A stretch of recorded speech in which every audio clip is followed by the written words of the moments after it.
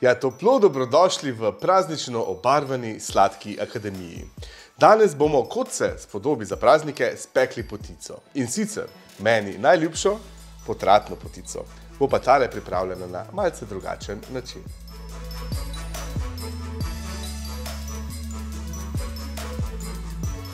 Naša potratna potica bo tokrat lešnikova, skuti smo dodali brusnice in pa pomarančo in v sredini imamo takle rdečkast biskvit začinjen s kardamomom. Sočno, odlično, praznično, dajmo se kar lotiti peke.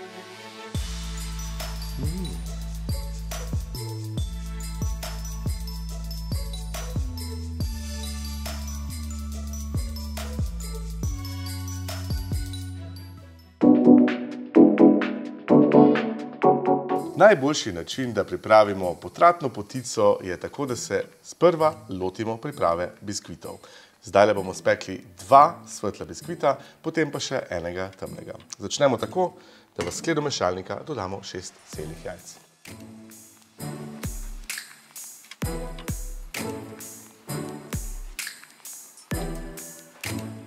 Jajca, sladkor in aromo vanilije dodamo v skledo mešalnika.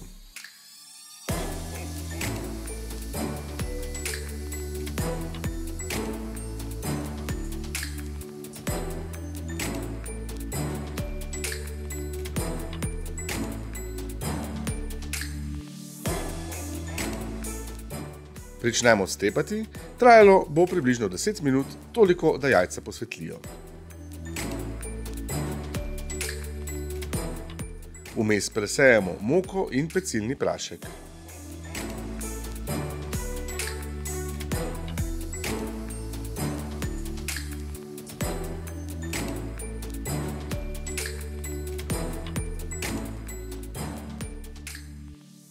Poglejte, kako so pobelila se tale jajca, skoraj bi si lahko dal in prekucnil nad glavo, ampak ne tega dela doma, ker se vam bo zihar zlil po laseh.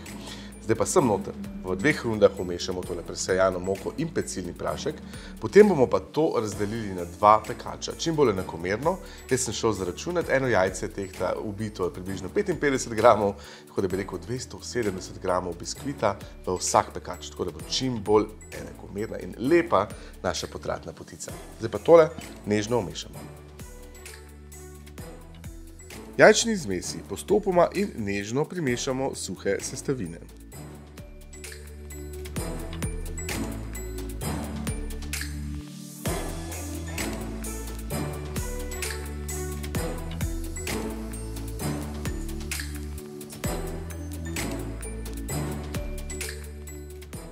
Maso za biskvit enakomerno razporedimo v pekača dimenziji 30x20 cm.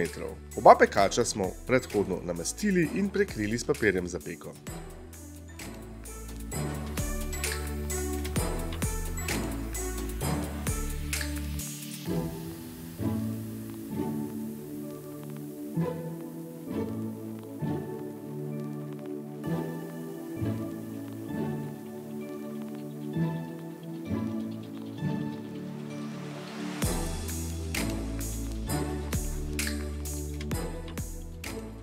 Tole zdaj pečemo 12 do 15 minut pri 180 stopinjah Celzija, ker oba pladna hkrati bomo dali na sredino in pečemo brez ventilacije.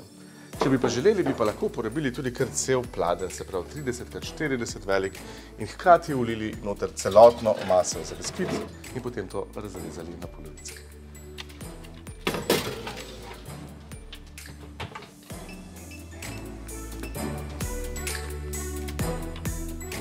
Pečena biskvita nekoliko ohladimo, odstranimo iz pekačev in jo pustimo, da se popolnoma ohladita.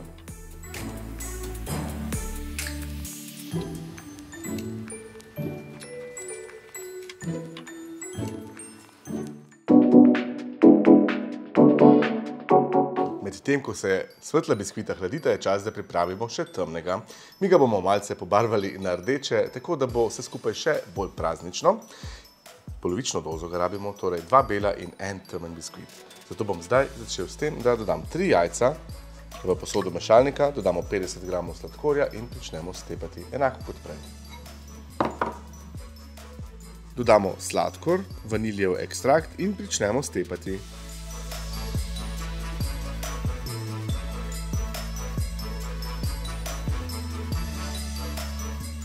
Vmes si pripravimo suhe sestavine. Moko, kakav, pecilni prašek in kardamom.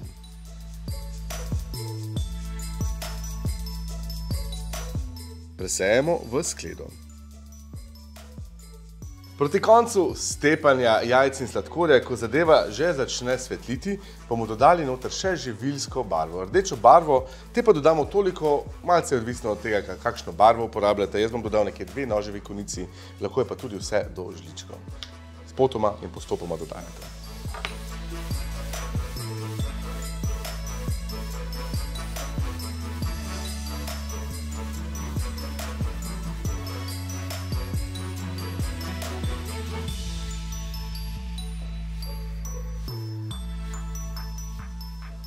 Stepamo toliko časa, da se barva v celoti poveže, približno 3 minute. Suhe sestavine dodamo v dveh korakih, vmes pa nežno in temeljito premešamo maso.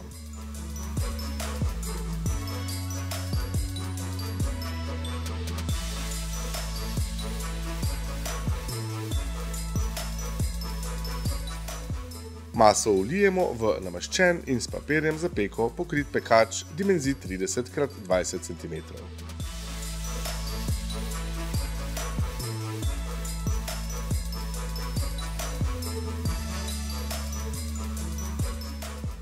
Pečemo pa enako kot svetel biskvit.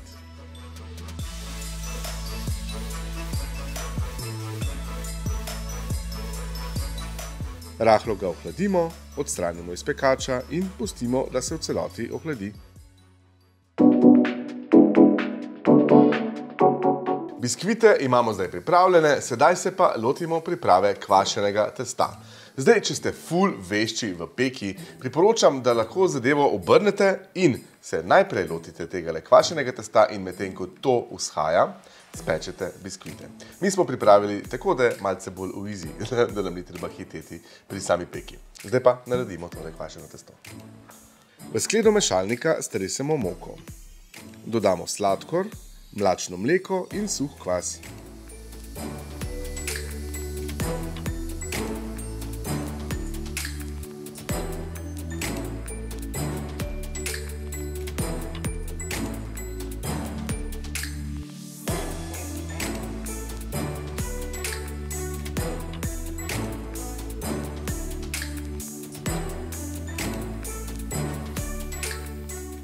Pripravimo dva rumenjaka in tudi ta stresemo v skledo.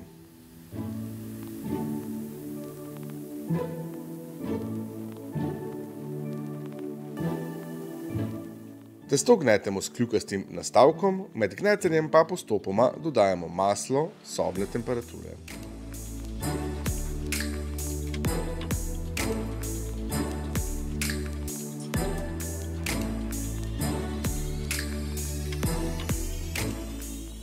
Testo sedaj prestavimo v namaščeno skledo. Pustili ga bomo vzhajati uro do uro in pol na sobni temperaturi, v bistvu toliko časa, da se volumen podvoji. Vmes pa pripravimo še nadeve.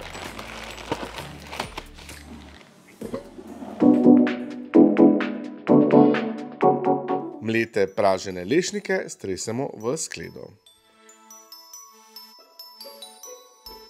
Dodamo sladkor, vaniljev sladkor in cimet.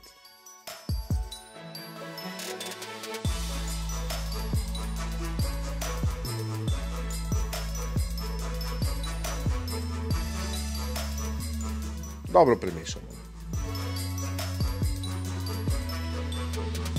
Mleko in smetano segrejemo skoraj do vretja.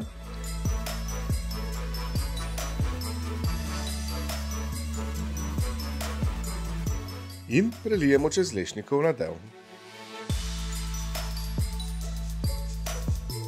Premešamo.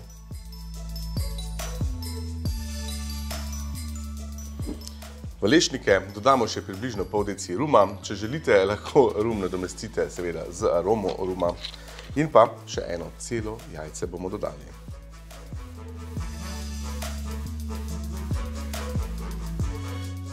Dodamo še jajce in dobro premešamo. Nadev številka dve, ki ga bomo pripravili, je skutni. Dodali mu bomo suhe brusnice, ki jih bomo sedaj namočili v vroči vodi, tako da jih bomo potem lažje nasekljali in da bojo bolj sočne. Dodali bomo pa še malce kisle smetane in pomarančno lupinico.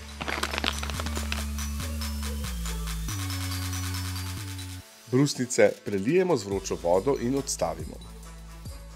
V večjo skledo stresemo nepasirano skuto, dodamo kislo smetano, sladkor in pomarančno lupinico.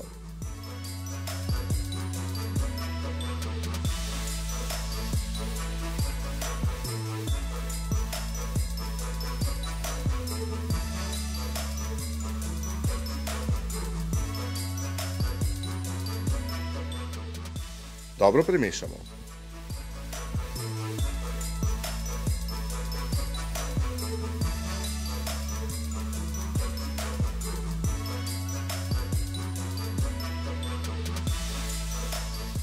Brusnice odcedimo, drobno nasekljamo in omešamo k skupnem nadevu.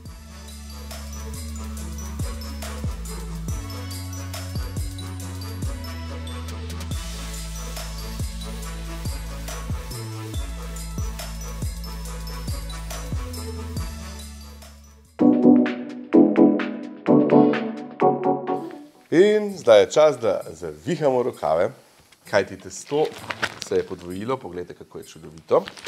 Tole bomo sedaj dobro pomokali površino in razvaljali na pravokotnik, dimenzije 40 x 60 cm. Delovno površino pomokamo in na njo položimo testo.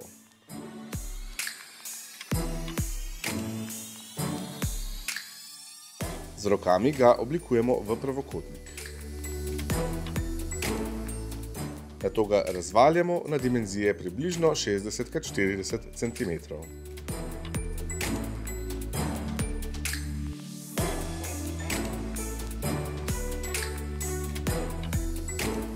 Testo prestavimo čez pekač, tako da nam malce visi čez rob.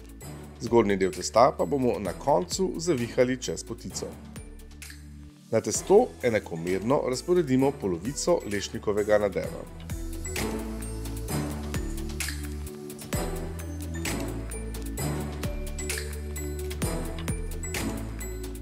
Povrh položimo prvo plast svetlega biskvita.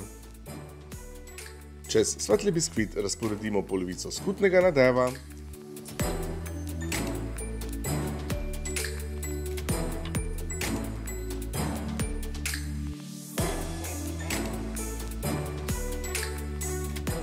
Gor položimo temen biskvit. Ga premažemo s preostankom skutnega nadeva.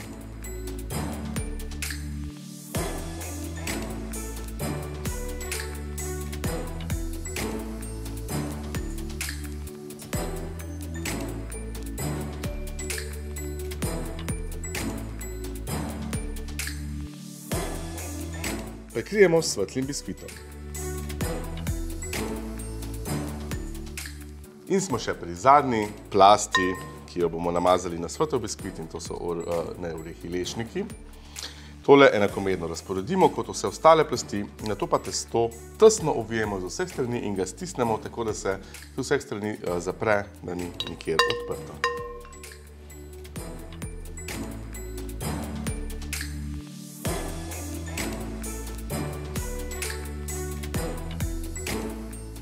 Zgornji del testa zavihamo čez orehov nadev, nato pa testo z vseh strani stisnemo in zapremo potico.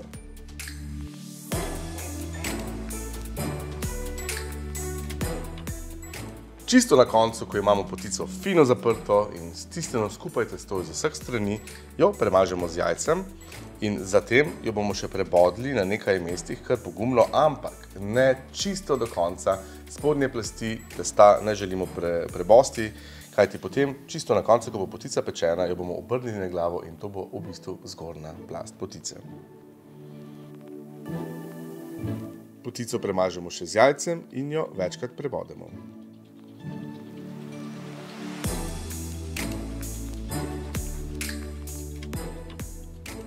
Potico zdaj prestavimo na spodnjo tretjino v pečico, pečemo jo pri 180 stopinjah Celzija 40 do 45 minut.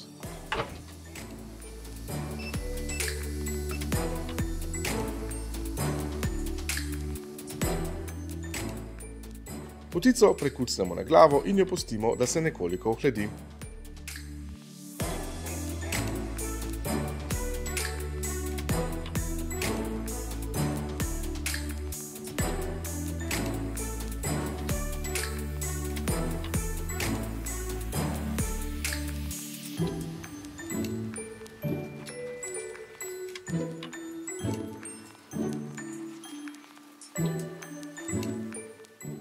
Dober tek vam želim.